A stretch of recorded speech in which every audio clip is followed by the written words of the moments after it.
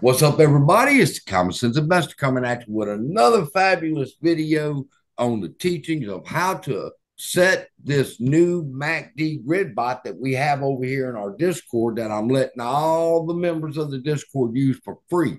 And people, let me tell you something.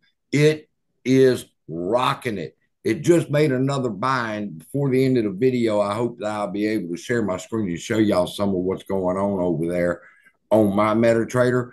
But right now we've got G here who's ready to put the moving average bot, right? Yes, sir. On a chart, and then he's going to get the settings for that and get ready to turn it on. And he'll be running three, four, five. He'll be running six charts then. So, what we're going to do first is pick which currency pair we want to use. Let's use the AUD. Uh, well, let's use the Euro USD because that seems to be pretty active. Let's open up a new chart with the Euro. All right. And drag that over there. All right. And turn it off. Inputs. All right. The numbers I have for the Euro on the moving average is on the five minute chart and it's going to be 69 and 50.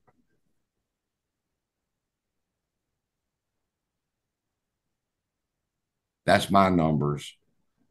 We'll run a test and say, wait, wait, wait. We got to fix your lot size to a 0.02.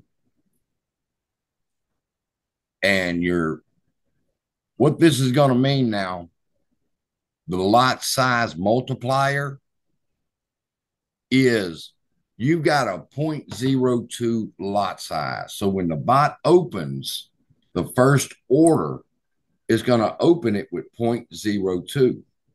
The lot okay. multiplier tells the next grid what it needs to buy at. And the way you figure it out is 0.02, which is your lot size, times the multiplier, which is 1.2. And the second order is going to have a 0.024 lot size. So it'll buy the initial lot size, which is 0.02. The second one will be 0.02 because it rounds it up or down. It goes to two.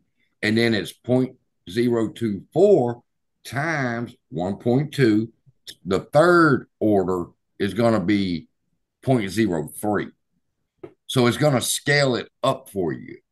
The first okay. order is going to be 0.02. The second order is going to be 0.02. And the third order is going to be 0.03. Now you could change that to where they're all the same 0.02, 0.02, 0.02. You just change your multiplier to one and it won't add anything to the lot sizes. Okay. Got it. All right. Stop losses at 10,000. That's what I use because we do a strategy called play to the drawdown. We don't want to get stopped out. We only want 50 pip, uh, 50 points profit, which is five pips. That's perfect. Now you've got an account that pays commission. You don't have a spread account.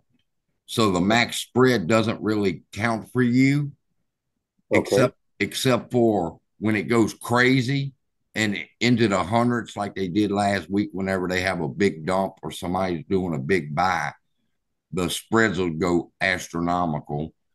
This stops the bot from buying anything over 25 spread. Got it. Total entries including the initial i've got it set for three for me.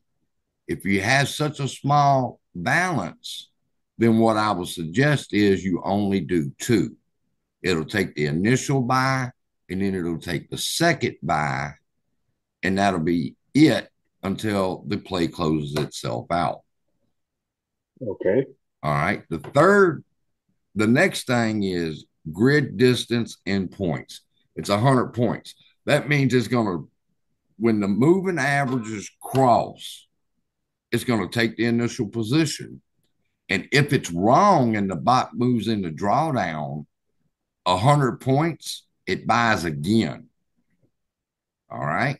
And All if right. it if it continues to go against you another 100 points, it'll buy. Oh, no, you got, you're setting Oh. yours for two. So that'll be good. If it falls 100 points, it's going to buy again for you. And then you wait to play out when it comes back up. Got it. All right. MA type is going to be simple, always simple. Okay. Closing price, that means at the close of the candle, when it's when the chart scoots over to start the next candle, is when the bot reads to see if it has the right moving averages for the crossover. And if it does, it buys. Got it. So it applies to the close of the price. That's why I watch my candlestick timer very closely. I know when the next uh, candle's going to be formed, and I know when the bot will be looking for the next set of trades. And then the other two are very simple the fast uh, moving average and the slow moving average. It's that simple. Now, none of these are going to change anymore except the last two. We only have to test for the last two settings, which is the fast MA period and the slow MA period. The fast is the fast is looking back 69 candles, and the slow is, is moving back, looking back 50 candles, and it sets the price or the line where the price average between them. Got it. All right. So now just hit OK. Now right click real quick. I want to get this straight. Properties. This won't take but a second. Right. Colors. Let me move this over to We got to make our candles the right colors. Bar up, line, bar down, red. You got it. You know, like me now, huh? Oh yeah. bar down is red. Okay, got it. All right. Click OK. Oh, right click again. One thing you can do for all your other ones is go to show up top, hmm show tick volume. Turn that off. You don't need that shit. Okay. It. That's just something on the screen. That's um Picking up space. yeah, just click OK. Now, right click, templates, save template. My MA grid bot.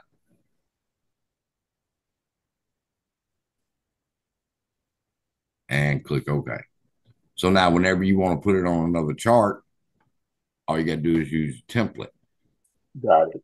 Now let's go up to the strategy tester and let me give you the numbers that you have to put.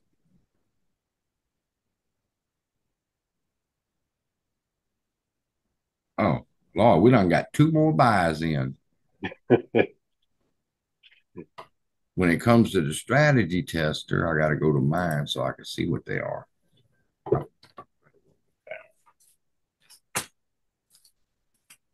Yeah, I got it. All right. Next ding you hear is going to be the money machine, the cash register. That's what I'm waiting for. Complete optimization. My MACD grid bot. Open that up and let's see if we got the version 10 in there. Yeah. Version 10, V10. Okay. Oh, no, oh, no, no, no. I'm sorry. That's We're in the the moving average. version three. Three, yeah, version three. Okay. And we're testing. Well, it Euro won't matter. Uh, we're just set. We're just setting the numbers. All right. Everything stays the same, just like any other test that we Got do. it. All right. We just come to this page to put the symbol and the time frame in. Now go to inputs. Wait, not yet. You can't hit it yet. All right. All right. We got to check the two at the bottom in the check boxes. Okay. And now in start, where it says 12, hmm not there, the next column. Start right there.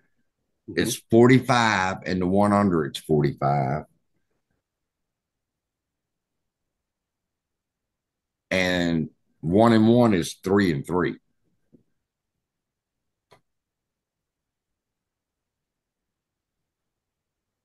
And under 200. And that's all you need. So the last one is two hundred. What's the Mhm. the two sixty 200. stay the same? Oh, 200, 200. Got it. Now it's just like whenever you're doing any other bot, go to overview, complete optimization. We check our symbol and we check our time frame. Everything is set where it, oh, go back to inputs. Let me check something else. Yes, lot size needs to be 0.02. Multiplier needs to be one. Uh, three needs to be two till we get your balance up some. Got it. Now we're all set. Now go to overview. Complete optimization. We see that the we don't need to change the symbol or the time frame, and you just hit start. And it's as Got it. simple as that. Now, now that we put in the hard work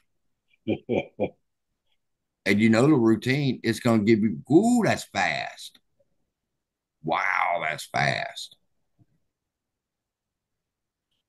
You know how long it takes me to do this test?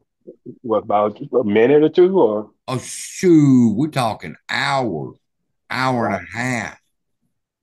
Yours is scooting by so fast, it's crazy. All right, optimization results. And we'll see what some of them are. And so far, we don't like the results. yeah, I see that twenty five percent uh drawdown. That's a killer. Yeah. Uh, and and a monkey will fly out of my butt if I take a 25% drawdown. Yeah, it looks pretty if you go ahead on and say, okay, and look at the back test, but uh, when that drawdown hit, it'll make you change your mind real fast Yes. when you see Now, that uh, amount. I'm gonna tell you something that I've discovered now that I'm using these grid bots hmm is if I stay with the low percent drawdowns, like one, one and a half, two, my grids will never get triggered Hmm. because it doesn't fall down that far. So Okay. now I have to start looking for a sweet spot between three and seven percent where I can be pretty sure that the grid will get activated. At a one percent, I'm finding that your grid is the bot's too accurate and Okay. it goes up and takes profit too fast. Now, if I take a, a higher drawdown like three to seven, and that's where I'm at right now, that could still change. But three to seven gives me enough to where my grids kick in.